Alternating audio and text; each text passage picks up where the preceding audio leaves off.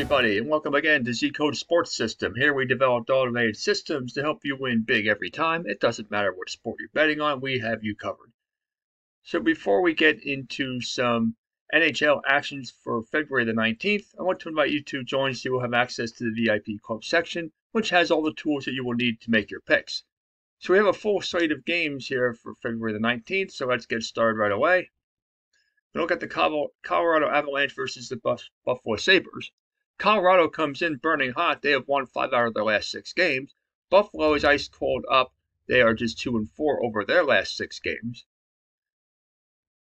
If you look at the um, over under, you see that the Colorado has trending in games under the line in the last four games, while Buffalo has trended in games over the line in the last three games. The score prediction has Colorado with a 4 to 3 edge with a 68% level of confidence.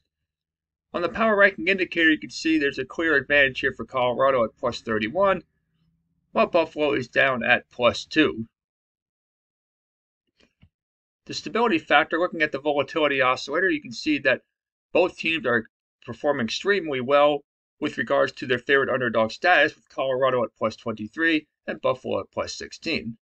This is more indication that Colorado will come away with a road win. There should be very little contest here, I like Colorado by a couple of goals and in a game going over the line.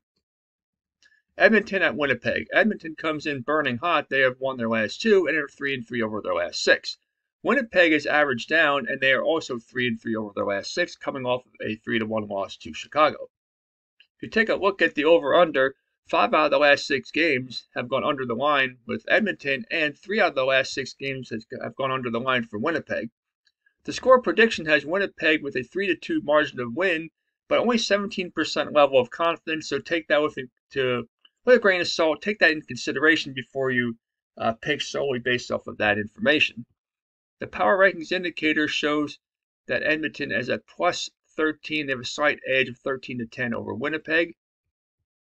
The volatility oscillator shows that both teams are moderately stable, although if you look here, um, Winnipeg was at plus 10 not that long ago, just what back on January 22nd, and now they are down at um, plus 5. So they have been a little bit less consistent according to their favorite underdog status as of late. What I'm looking at in this game here is I think Edmonton's just too strong.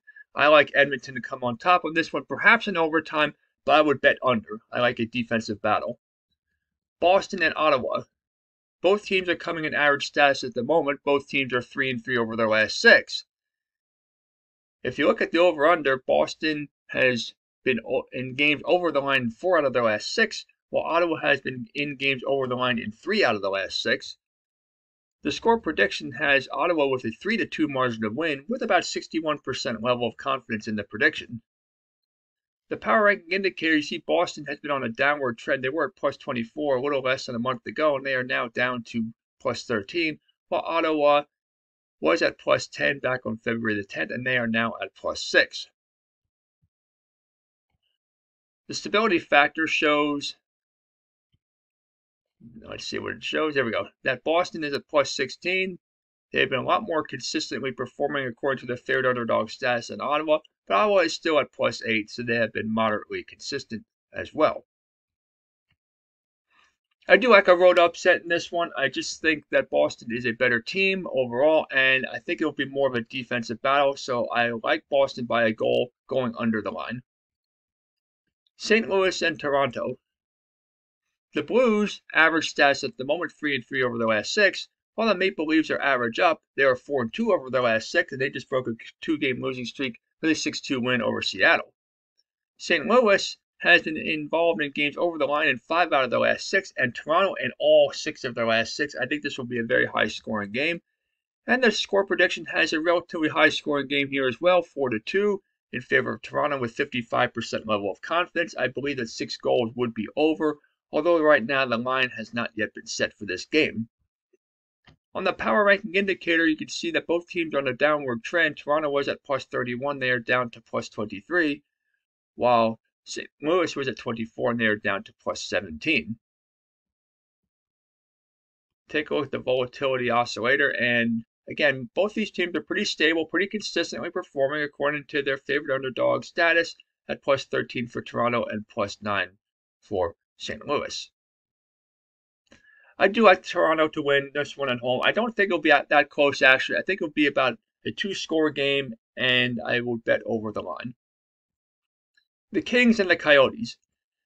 The Kings are burning hot at the moment, winners of four out of their last six, and they have been over the line in all six of their last six games. Arizona ice cold down; they are two and four over their last six, coming off of a four to three loss to Tampa Bay, and they have been involved in games over the line in their last four. Very good indication to bet the over in this one. The score prediction has it at 3 to 2 in favor of Los Angeles with about 60% level of confidence. I actually believe it's going to be a uh, higher scoring game than that. Uh, if you look at the power rankings indicator, Los Angeles is at plus 16, and Arizona, they were at 1 for a while, and they have climbed up slightly. They are still only at plus 4 the volatility oscillator, like we always like to look at, this is a very good indication to bet the Kings. Arizona plus 23, very stable, very consistently performing, and they're likely going to be a home underdog. Uh, so I would very much bet on uh, the Kings with high level of confidence that they will win this game, and I like them to win in a game over the line. Anaheim and Vancouver. The Ducks are average down at the moment, losers of their last two and three and three over their last six, while the Canucks are average there coming off of a three to two win over Toronto. You see that um, the over under Anaheim over in their last game, over four times in the last six games, while Vancouver has been trending in games over the line in their last four and four out of their last six. The score prediction would definitely be under, though, if this would, would hold 3 to 1 in favor of Vancouver with 61% level of confidence. Power rankings, you can see Anaheim was at plus 24 just a couple weeks ago, and they have dropped down now to plus 18, while Vancouver was at plus 14 and they're down to plus 11. With the stability factor once again, and you can see that both teams again performing pretty consistently.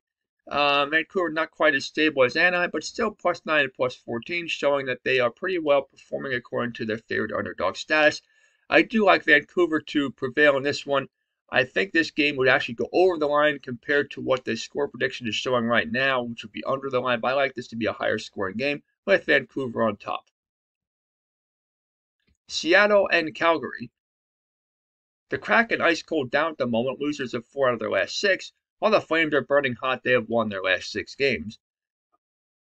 If you look at this total streak, though, Seattle over in five out of their last six games. Calgary involved in games over the line in five out of their last six games as well. Very good indication bet the over. Again, though, the score prediction is showing a little bit different as a three to one edge for Calgary with confidence in prediction of about 69%.